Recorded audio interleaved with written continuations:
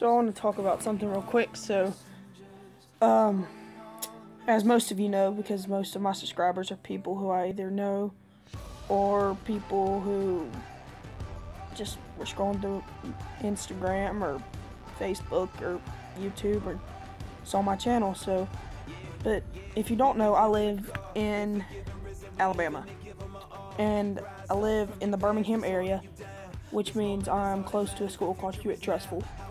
Um, and Hewitt Trussville football It's a very big football program in Birmingham, and they're outstanding. They're very good at football.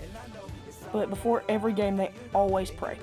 They always pray over the intercom. Um, I'm pretty sure it's student led. I don't know. I've never been to a game. I've just I've heard about it though. And a parent sent in a complaint saying, "Look, separation of church and state." We'll talk about that later. Doesn't say that in the in any of the amendments or anything like that. That was actually a separate letter from Thomas Jefferson that was actually sent to a church used in a different context. But that's besides the point. They were like, look, we don't think you should pray anymore.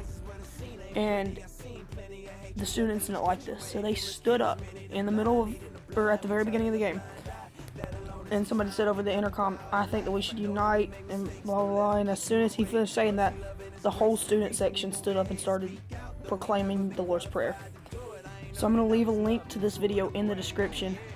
Uh, my good friend, possibly one of my best friends, Gabby Gooch, is one of the people who led the thing, and it's just, it's an incredible thing to watch because as our next generation, as this generation goes out into the world and they proclaim their faith, there's nothing that's going to stop them from proclaiming the Word of God. So, Gabby, if you're watching this, I'm proud of you. I love you and thank you because you're making a huge difference in your school. Grayson, Grayson Byram, I know you had a huge part to do this in this too, and I love you, bro. You're a world changer. Like you have, dude. This is this is outstanding. I'm so proud of you, man. So, yeah, y'all go watch that video. I love you guys, and I promise th- there's. I'm still shook like I've got chills going down my spine because I'm so proud of my friends because they're standing up for their faith. They're setting an example for everybody, not just you, not just me. They're setting an example for the world. You know, put on the local news. You know how many people are going to see that? A lot of people. And a lot of people are going to think this is what it's all about. So I love you guys. Thank you for watching. Go watch that video. Sorry I haven't been uploading. I broke my phone and I'm videoing on that crappy phone again and the editing software just isn't good and the quality isn't good so I'm waiting for my phone to get fixed. I'm supposed to get it fixed Wednesday so yeah.